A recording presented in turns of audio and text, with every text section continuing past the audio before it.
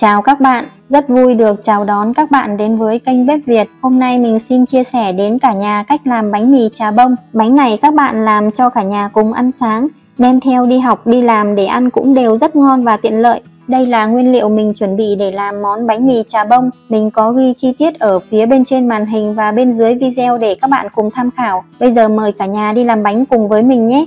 Mình cho trứng vào tô, mình sử dụng một quả trứng gà loại nhỏ khoảng 50g, lấy cả lòng trắng và lòng đỏ luôn nhé cả nhà.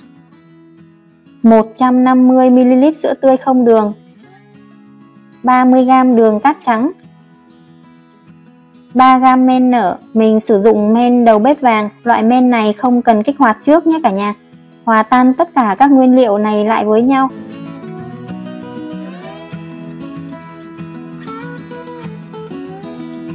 Sau đó cho 300g bột mì đa dụng số 11 2g muối vào. Trộn đều bột với hỗn hợp.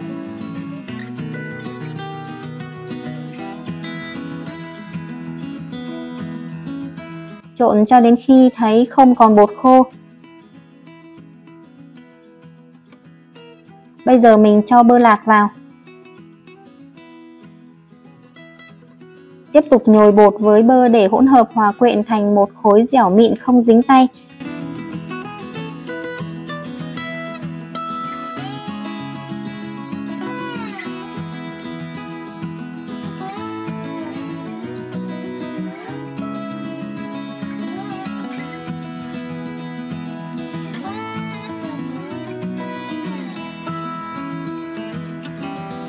Dùng màng bọc thực phẩm bọc kín bột lại ủ bột khoảng 60 phút hoặc để ủ đến khi thấy bột nở gấp đôi. Sau khi bột nở gấp đôi, mình cho bột ra bàn, nhồi sơ bột lại.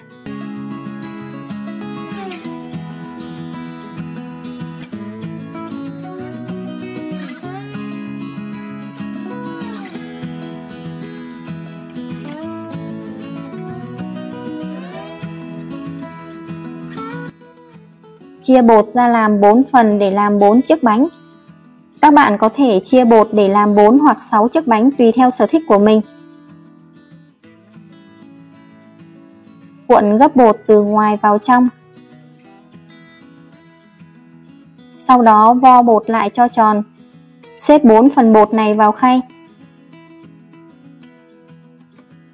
Lấy khăn phủ lên trên viên bột để bột không bị khô. Mình để ủ bột 20 phút để bột nở trở lại. Trong thời gian đợi bột nở, mình đi chuẩn bị phần nhân. Mình cho vào tô 2 phần 3 chén trà bông. Chỗ trà bông còn lại chút nữa mình dùng để trang trí mặt bánh. Hành lá cắt nhỏ mình cũng sử dụng 2 phần 3 chỗ này thôi nhé, khoảng 20g. 1 phần 2 thìa cà phê đường, 50g sốt mayonnaise. Nếu thích ăn nhiều nhân thì các bạn điều chỉnh tăng lượng trà bông, sốt mayonnaise và đường lên nhé. Trộn đều tất cả.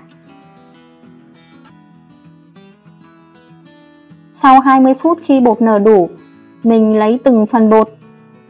Dùng tay ấn cho bột dẹt ra và cũng giúp cho ra hết lớp bọt khí ở bên trong viên bột.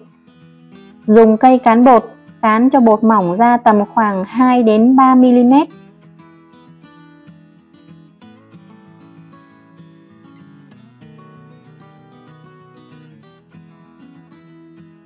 Cắt đầu bột bên này thành từ 5 đến 6 sợi nhỏ tùy theo ý thích, có chiều dài khoảng 8 đến 10 cm. Cắt gần đến mép bột phía bên ngoài này thì ngưng lại, không cắt hết bột nhé cả nhà. Cho nhân trà bông vừa mới trộn cùng sốt mayonnaise vào. Mình dàn đều theo chiều ngang bột. Cuộn bột lại. Nhấn từng đoạn cố gắng ve hai đầu nhỏ hơn so với phần bụng giữa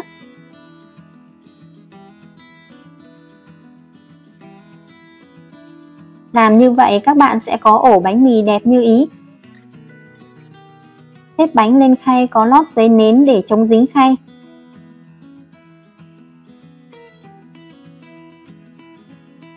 Dùng khăn đậy bánh lại, tiếp tục để ủ bánh thêm 30 đến 40 phút tùy theo nhiệt độ nơi các bạn sinh sống để canh thời gian ủ bánh hoặc khi thấy bánh nở gấp đôi mới là được nhé cả nhà. Về phần hỗn hợp dùng để quét mặt bánh, mình dùng một lòng đỏ trứng gà, 10ml sữa tươi không đường, khuấy đều cho trứng sữa hòa quyện lại với nhau.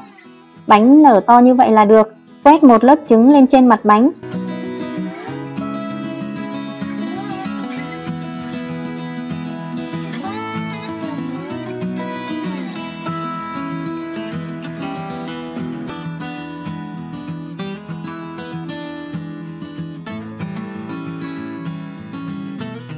Sau đó thêm sốt mayonnaise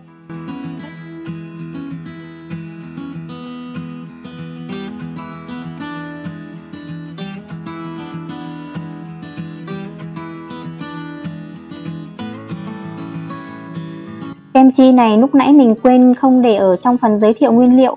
Bây giờ thì các bạn cho thêm vào dùm mình nhé.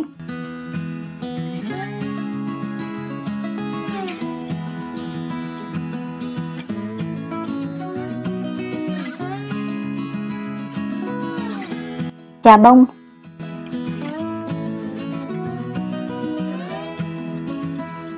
Rắc hành lá cắt nhỏ lên trên.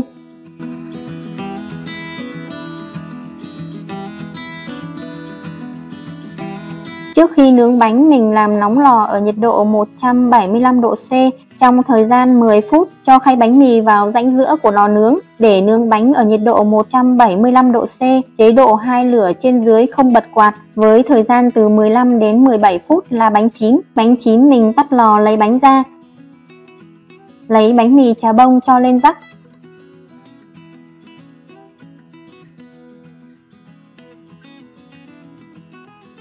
Bánh này các bạn làm cho cả nhà cùng ăn sáng, đem theo đi học đi làm để ăn cũng đều rất ngon và tiện lợi. Bánh mì mềm xốp thơm mùi bơ sữa, thơ bánh mềm dai.